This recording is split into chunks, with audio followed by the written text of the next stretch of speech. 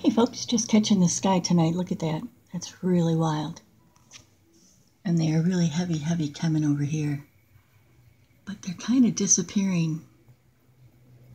It's got to be making a thin veil or something, but there was a huge X, of course. But check out those clouds. Hey man, I wish I could get the sun in there. It looks like it's going to be pretty awesome. But anyway, I just wanted to catch this because it's kind of cool. Have a great night. Stay present, stay safe. Later.